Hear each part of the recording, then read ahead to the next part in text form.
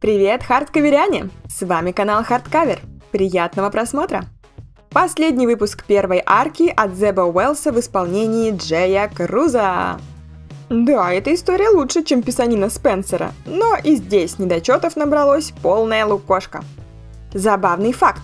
В этом выпуске у Паркера в исполнении Рамиты-младшего практически такое же лицо, как у меня, когда я трачу все свои вечера на ролики, которые приносят мне копейки. Ладно, от Ютуба сейчас приходит 60 рублей в месяц. Но этого даже на кофе не хватает. Кофейком меня сейчас угощают только те три прекрасных человека, которых вы видите в титрах после каждого ролика, и с молитвы за здоровье которых я начинаю каждое божье утро. Ребят, вы очень крутые и показываете, как нужно относиться к интеллектуальной собственности в этой стране. М? Вы только подумайте, на самом деле, я сижу за роликом, который вы смотрите 10 минут, примерно 3-4 часа. А если это ролик формата Ultimate Вселенная, то раза в 3 дольше. Поэтому сейчас, когда в России отключена монетизация, мне как никогда нужна ваша благодарность и поддержка в материальном ее выражении. Канал можно поддержать на ежемесячной основе во ВКонтакте. Все спонсоры указываются в титрах, получают ранний доступ к роликам и мои утренние молитвы. Ссылка на страницу подписки в описании. Я заранее благодарю тех, кто еще намеревается присоединиться к этому теплому сообществу. И огромное-огромное спасибо тем, кто уже состоит в донатерах канала. А если ежемесячный способ поддержки для тебя это слишком, то можно сделать это единоразово на кошелек Юмани. Вдруг какой-нибудь особо удачный ролик запал тебе в душу, и ты такой хочешь «Хей, спасибо тебе, Харди!» сказать вот так вот. Я высказалась, Круз, теперь тебе слово. Удивительный Человек-паук. Выпуск пятый.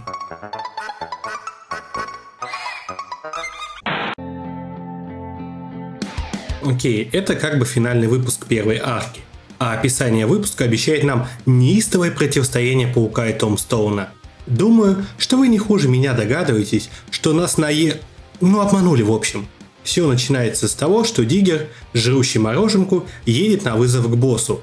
Около убежища скопление полиции – Босс арестован и имеет право хранить молчание. Диггер, как настоящий проверенный сотрудник организации, принимает решение свалить по-тихому, чтобы не пойти вслед за начальством. Паркер Сидни неподалеку на крыше в фирменной гопа позе раздумывает о событиях прошлого номера. Герою просто необходимо теперь как-то отомстить Том Стоуну за то, что он сделал из него лоха. Ах да, прошу обратить внимание на голову Паркера, так, по мнению Рамиты, выглядит избитый герой в маске. Ну, просто клякса красная и все. Героические критические дни. В это время Алонсо на бандитской сходке косплееров рассказывает о том, какой он криминальный маэстро, как он переиграл и уничтожил Розу на его же территории. Другие боссы подозревают, что Tombstone может потенциально работать с пауком. Но глава Гарлема утверждает, что он ровный пацик и с членистоногими тварями дел не ведет.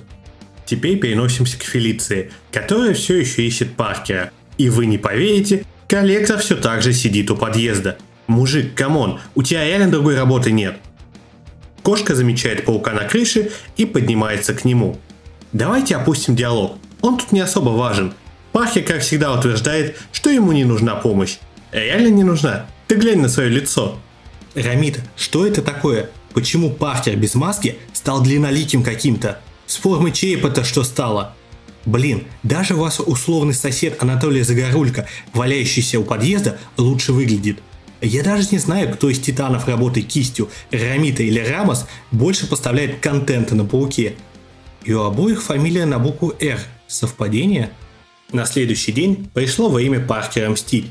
Вот как вы думаете, где прятался Диггер? Естественно, в убежище Розы, которое вчера оцепила полиция – однозначно самое безопасное место. Ну, конечно, не бункер, но тоже неплохо. Паркер после небольшой потасовки предлагает Диггеру договориться, чтобы тот смог оправдаться в глазах Фиска, а паук бы насолил Томстоуну. Позже в Лонг-Айленде Алонсо провожает своих гостей с особняка. Паркер пробирается в его апартаменты. Ну что, вы готовы к обещанной битве? Ха, ее здесь нет. Паук снова начинает бычить. Основная идея Питера – это подорвать репутацию Том Стоуна. Он собирается вбросить фейк, что они работают вместе, а если гангстер этого не хочет, то ему стоит поумерить свой пыл. Тут же звонит кролик и рассказывает, что Диггер напал на один из складов. Том Стоун респектует пауку за подобный подход, на этом все заканчивается. Вечером жертва Ботокса решает наведаться на ужин к тете Мэй. Свой внешний вид он оправдывает рокетболом. В это можно поверить только если он был мечом. Они садятся ужинать и все, конец первой арки.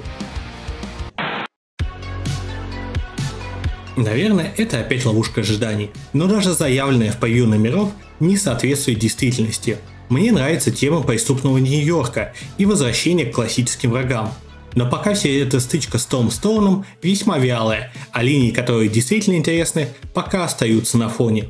Дальше нас ждет юбилейный 900 выпуск.